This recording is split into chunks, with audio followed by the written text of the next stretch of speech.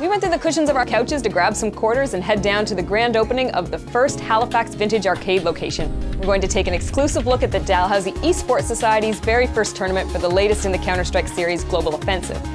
Also got a full review of the latest title from Gearbox Software and the sequel to the critically acclaimed Borderlands, Borderlands 2.